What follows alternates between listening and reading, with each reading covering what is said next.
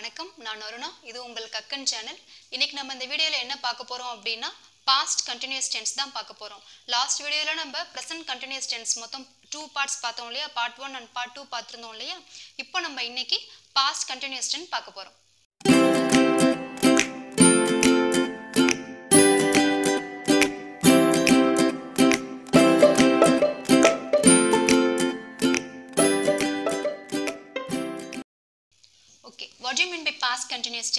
அப்படின்னா an action that is continuously happening in the past அதாவது ஒரு நிகழ்ச்சி கடந்த காலத்தில் தொடர்ந்து வந்து நடைபெற்று கொண்டே இருத்தலை குறிக்கிற செயல். எப்படி சொல்லலாம் அப்படின்னா ஐ வாஸ் வாக்கிங் நான் நடந்து போய் கொண்டிருந்தேன் ஹி வாஸ் ஸ்லீப்பிங் அவன் தூங்கி கொண்டிருந்தான். ஒரு ஆக்ஷன் வந்து செர்டன் பீரியட் ஆஃப் டைம் பாஸ்டில் ஆரம்பித்து அது கண்டினியூஸாக வந்து நடந்துட்டு இருக்கும் இல்லையா?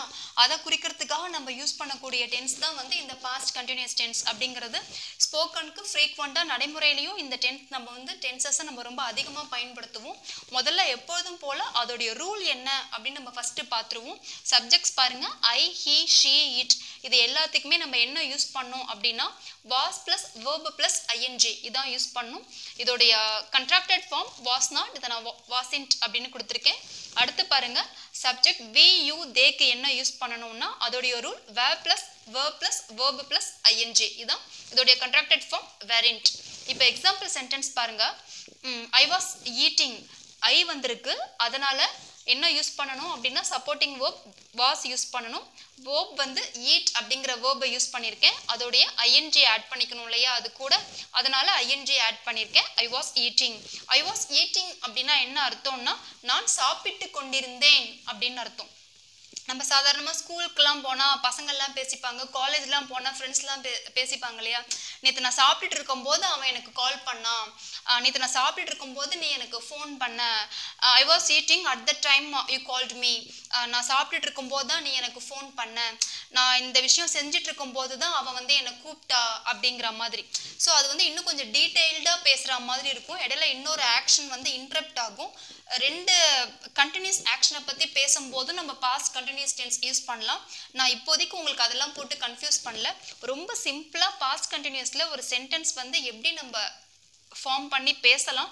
அதுக்கு எப்படி நம்ம வந்து கொஸ்டின் கேட்கலாம். வாஸ் வேற யூஸ் பண்ணி கொஸ்டின் கேட்குறது வந்து ரொம்ப அதிகமாக இருக்குது இப்போதைக்கு. நிறைய பேருக்கு அது யூசேஜில் தெரிய மாட்டேங்குது. அதெல்லாம் யூஸ் பண்ணி எப்படி ரொம்ப சிம்பிளாக கொஸ்டின் கேட்குறதுங்கிறத மட்டும் நம்ம பார்த்துட்டு இதை பற்றி டீட்டெயில்டாக நம்ம எங்கே பார்க்கலாம் அப்படின்னா வென் ஒயில் அப்படின்னு நான் ரொம்ப தனியாகவே உங்களுக்கு ஒரு கிளாஸ் எடுப்பேன். வெண்ணை பற்றியும் ஒயில் பற்றியும் அப்போ வந்து நம்ம இதை பற்றிலாம் ரெண்டு கண்டினியூஸ் டென்ஸை வந்தால் எப்படி பேசலாங்கிறதெல்லாம் நம்ம டீட்டெயில்டாக பார்க்கலாம். இப்போ சிம்பிளாக இதை பற்றி மட்டும் நம்ம பார்த்துப்போம். சரியா? பாருங்க. I was eating I was eating அப்படின்னா நான் சாப்பிட்டு கொண்டிருந்தேன் அப்படின்னு அர்த்தம். He was sleeping he was sleeping அப்படின்னா அவன் தூங்கிக் கொண்டிருந்தான். இட் வாஸ் ரெய்னிங் மழை பெய்து கொண்டிருந்தது. சொல்கிறாங்க இல்லையா? இப்போ மழை பெஞ்சிட்டு இருக்கிற நம்ம என்ன சொல்லுவோம்? இட் இஸ் ரெய்னிங்னு சொல்லுவோம். அது வந்து present continuous tense சப்ஜெக்டோட is plus verb plus ING மழை பெய்து கொண்டிருந்தது அப்படின்னா இட்டுக்கு என்ன யூஸ் பண்ணும்? Was plus verb plus ING அப்போ it was raining it was ரெய்னிங்னா மழை பெய்து கொண்டிருந்தது அப்படின்னு அர்த்தம். We were going we were going வீனா என்ன? நாம் நாங்கள் இல்லையா? நாங்கள் போய்கொண்டிருந்தோம் அடுத்து பாருங்க. தேவர் டிராவலிங் தேவர் டிராவலிங் அப்படின்னா என்ன? நாங்கள் என்ன சொல்றது டிராவல் பண்ணி கொண்டிருந்தோம் பயணம் மேற்கொண்டிருந்தோம் அப்படின்னு அர்த்தம். புரியுதா? இது எல்லாமே வந்து கண்டினியூஸாக நடந்த ஆக்ஷன் தான். ஆனால் இது எல்லாமே பார்த்தீங்கன்னா பாஸ்ட் ஆக்ஷன் தான். கிளியராக இருக்கா? நம்ம ஸ்போக்கனில் பார்த்தோம் இல்லையா? இங்கிலீஷில் டூ டைப்ஸ் ஆஃப் கொஸ்டின்ஸ் தான் இருக்குது எஸ்ஆர்ஓ டைப் கொஸ்டின் ஒன்று இன்னொன்று இன்ஃபர்மேஷன் கொஸ்டின்ஸ் அப்படின்னு. இப்போ நம்ம எஸ்ஆர்ஓ டைப் கொஸ்டின் வச்சு ஒரு ஸ்டேட்மெண்ட் அதுக்கு எப்படி கொஸ்டின் ஃபார்ம் பண்ணலாம் அதுக்கு எப்படி ஆன்சர் சொல்லலாம் நம்ம எப்போதும் பார்ப்போம் இல்லையா? அதே ஃபார்மெட்டில் பார்க்கலாம். முக்கியமாக நான் இந்த கிளாஸ் நான் உங்களுக்கு உங்களுக்கு எதுக்காக நடத்துகிறேன் அப்படின்னா வாஸ் வேர் யூஸ் பண்ணி எப்படி வந்து கொஸ்டின் ஃபார்ம் பண்ணுறது அதுக்கு எப்படி ஆன்சர் கொடுக்குறதுங்கிறத நம்ம முதல்ல தெரிஞ்சுக்கணும். அதுக்காக தான் நம்ம இதை பார்க்குறோமே. சரியா? இப்போ பாருங்கள் she was playing she was playing அப்படின்னா என்ன? அவள் விளையாடி கொண்டிருந்தாள் அப்படின்னு அர்த்தம். ஷீ இஸ் பிளேயிங் அப்படின்னா அவள் விளையாடி கொண்டிருக்கிறாள் அப்படின்னு அர்த்தம்.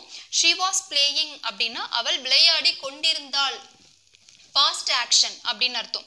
இப்போ பாருங்க கொஸ்டின் நம்ம கேட்குறோம் அவள் விளையாடி கொண்டிருந்தாலா நம்ம we have to form a question we have to make a question அதுக்கு பாருங்க அவள் விளையாடி கொண்டிருந்தாளா அப்படின்னா நமக்கு ரூல் என்ன? சப்போர்ட்டிங் வேர்பு சப்ஜெக்ட் வேர்போட ஐஎன்ஜி சப்போர்ட்டிங் வேர்ப் எது? ஷீ வந்திருக்கு. அப்போ நம்ம என்ன யூஸ் பண்ணணும்?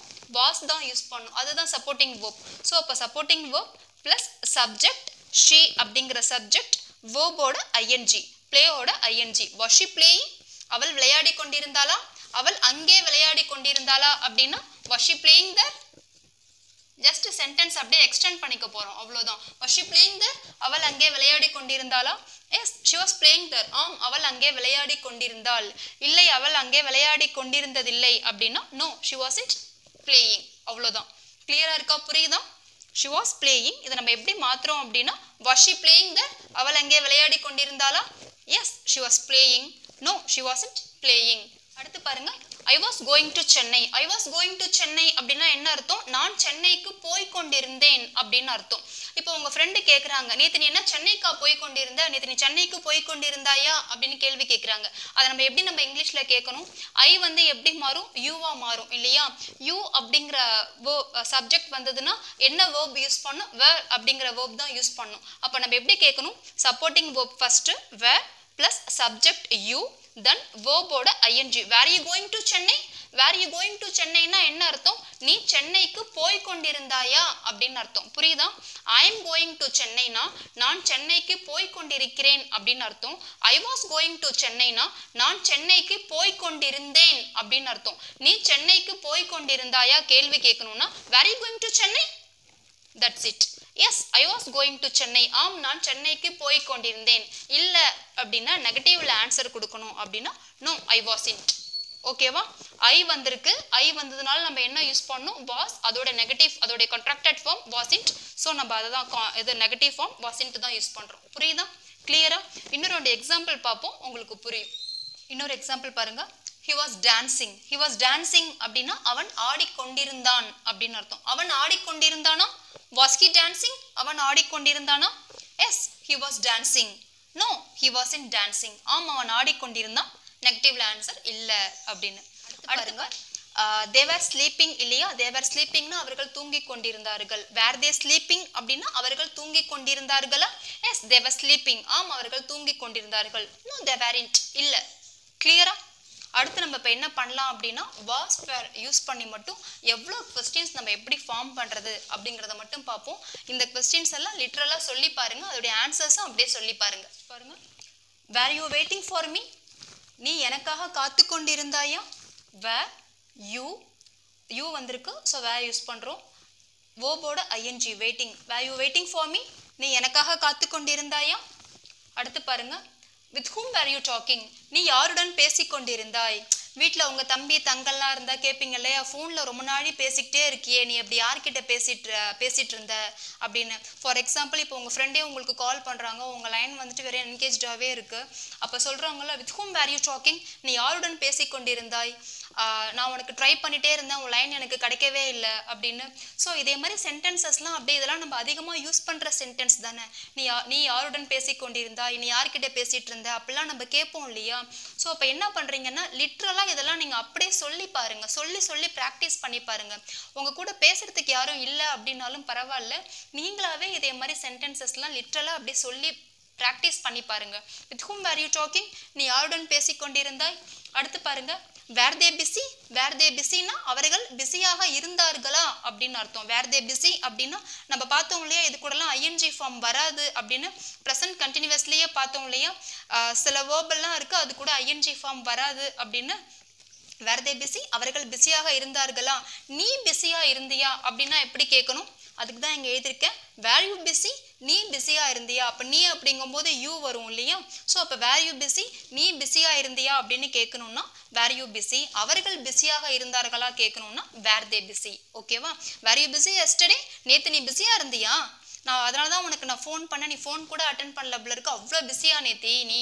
அப்போல்லாம் கேட்பாங்க இல்லையா நம்ம ஃப்ரெண்ட்ஸ்லாம் அவ்வளோதான் வேர் யூ பிளேயிங் நீ விளையாடி கொண்டிருந்தாயா? அவ்வளோதான் இந்த வீடியோ யூஸ்ஃபுல்லாக இருக்கும் அப்படின்னு நம்புகிறேன் சப்ஸ்கிரைப் பண்ணாதவங்க சப்ஸ்கிரைப் பண்ணுங்கள் வீடியோவை ஷேர் பண்ணுங்கள் உங்களுடைய ஃபீட்பேக் எதுவானாலுமே எனக்கு கமெண்ட் பண்ணுங்கள்